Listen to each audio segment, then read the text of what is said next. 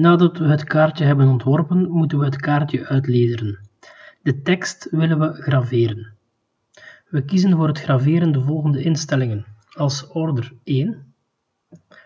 Voor het vermogen nemen we een lage waarde, bijvoorbeeld 20, en als snelheid nemen we 100. Vervolgens gaan we op het kaartje staan, klikken op de rechtermuisknop en kiezen de rode kleur. Hetzelfde voor het gaatje. Dit kadertje en het gaatje willen we nu gaan uitsnijden. We kiezen als order 2.